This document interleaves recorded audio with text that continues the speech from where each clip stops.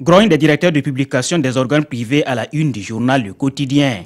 Le quotidien ouvre largement ses colonnes aux responsables de ces organes qui partagent tous la même préoccupation des factures impayées. Et leur principal débiteur, l'État. Les factures s'accumulent, les procédures se compliquent et du coup, les journaux sont dans une posture où la trésorerie ne fonctionne plus normalement, se plaint le directeur de publication de l'économiste du Faso interrogé. Une situation qui constitue pour eux un goulot d'étranglement.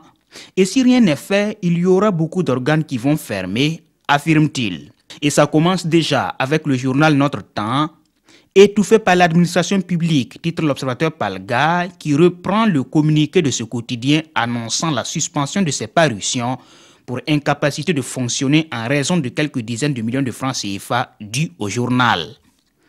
Toujours dans l'Obs, le cas Ama Amadou, l'opposant nigérien condamné hier à Niamey à un an de prison ferme dans l'affaire de trafic de bébés. Véritable scandale politique ou simple cabale pour liquider le troublion de la scène politique nigérienne, s'interroge le journal. Le condamné, toujours en exil, doit choisir entre rentrer et affronter courageusement son destin ou rester définitivement en exil, synonyme d'une mort politique.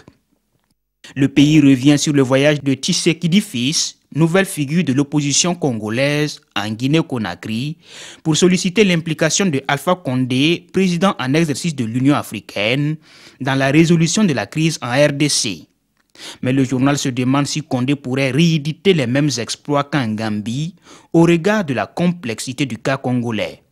C'est une occasion pour lui de sortir encore plus grand, mais comment?